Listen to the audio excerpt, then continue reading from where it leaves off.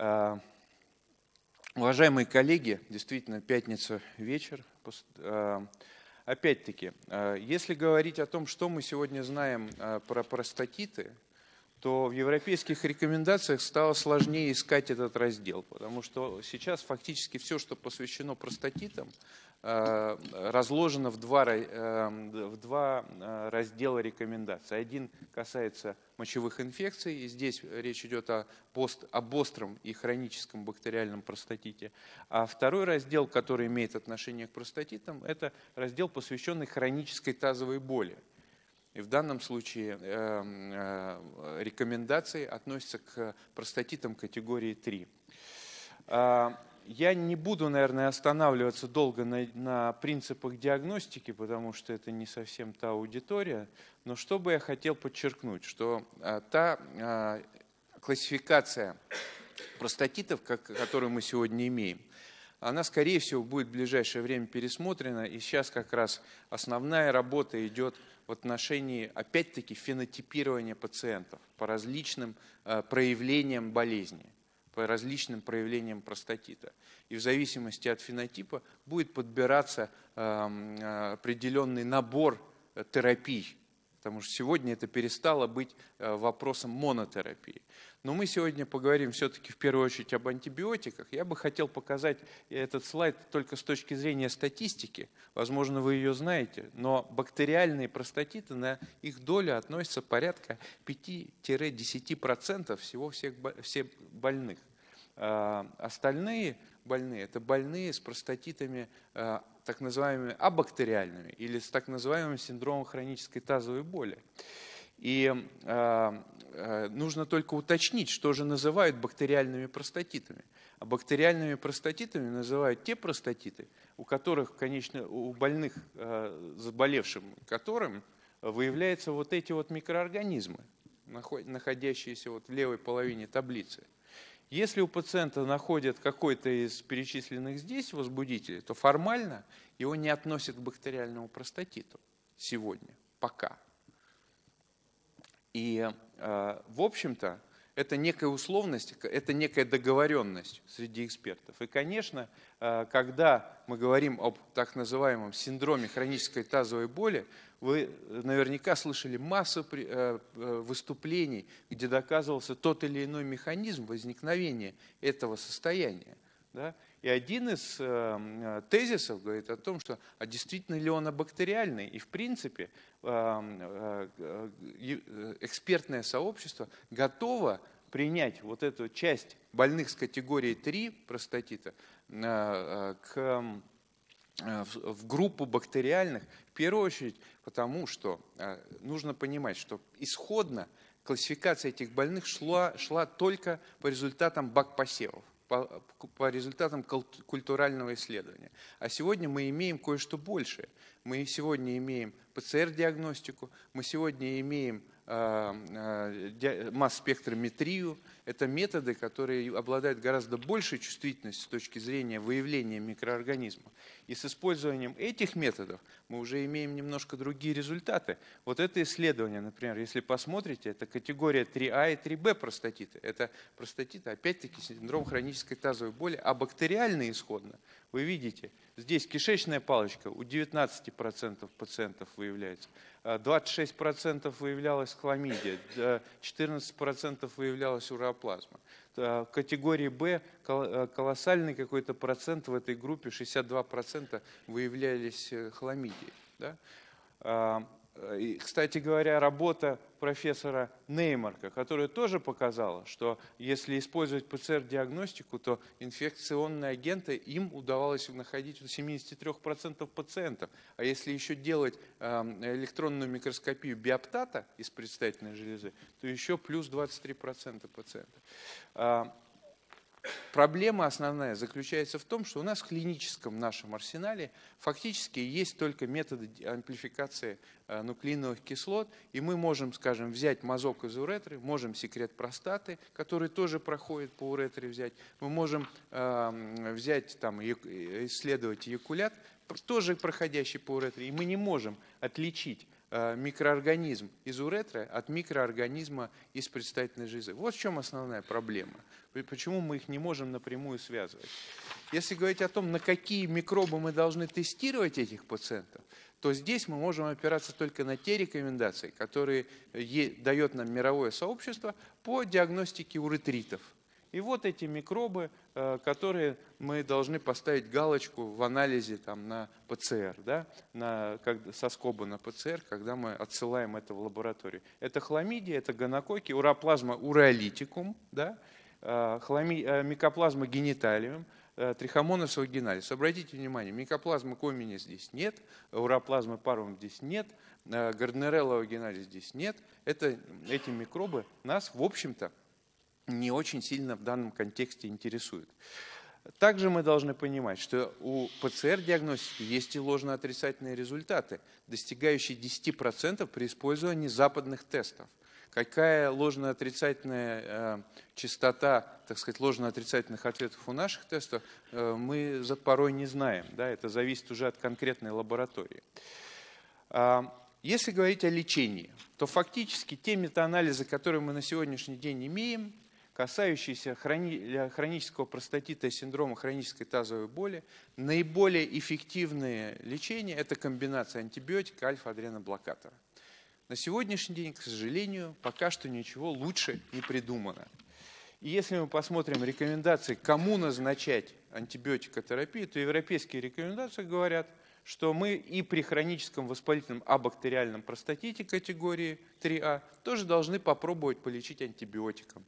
Если две недели полечили, стало лучше, продолжаем до 4-6 недельного курса. Стандартный курс антибиотикотерапии при простатите – это 4-6 недель. Это мы тоже должны к этому привыкнуть. И с этим, ну вот было исследование, которое показало, что нельзя увеличить дозу и укоротить курс.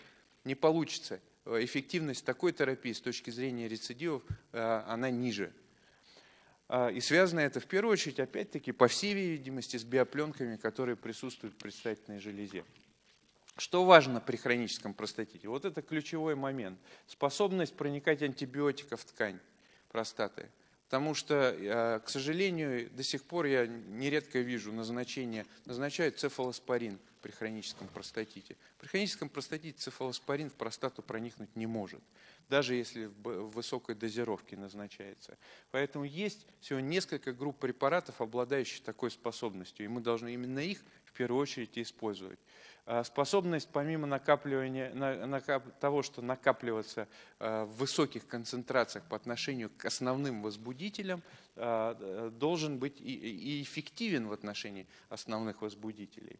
Фактически перечисляются из года в год в европейских рекомендациях четыре группы препаратов. Они здесь перечислены. Это фторхинолоны, тетрациклины, макролиды и триметоприм, сульфаметоксазол. Да? Вот посмотрите а, концентрация препаратов ткани предстательной железы после перорального приема. Здесь перечислены те препараты, у которых эта концентрация достаточно хорошая, достаточно высокая. И э, эти препараты имеет смысл назначать больным с хроническим простатитом. Вы можете рассчитывать на то, что эти препараты достигнут своей цели.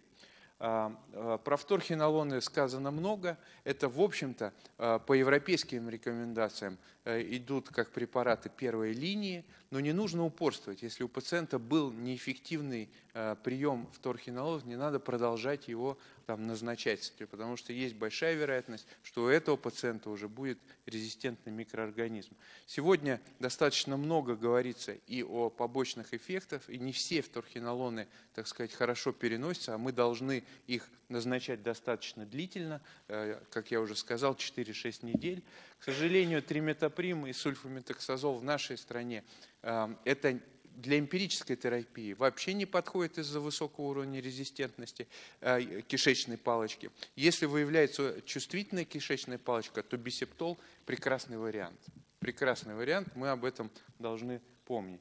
Ну и наконец, макролиды и тетрациклины, прекрасно переносящиеся препараты, я говорю о современных, конечно, препаратах, нам доступно, а, но нужно опять-таки понимать, что, что, скажем, в отношении кишечной группы микроорганизмов а, эти препараты а, уступают по эффективности тем же самым вторхинолоном. Они не очень хорошо действуют на ту же самую кишечную палочку обычно, да?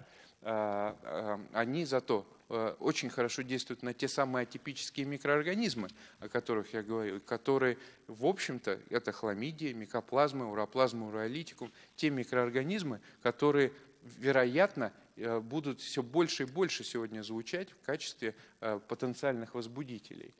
И я хочу показать то, о чем мы тоже, я уже упоминал, о минимальных подавляющих концентрациях этих препарат, препаратов в отношении основных Э, возбудителей атипических. Э, самые э, злые, назовем их так, это хламидия трахоматис, микоплазма гениталиум. Посмотрите, джозамицин, доксициклин. Очень низкие требуются подавляющие концентрации, чтобы достигать желаемого нами эффекта. Да? Теперь несколько слов все-таки про репродуктивную составляющую, которая очень важна. Кто болеет простатитами? Самая большая группа пациентов – это пациенты репродуктив, мужчины репродуктивного возраста. И зачастую они приходят к нам именно потому, что у них не получается зачать ребенка.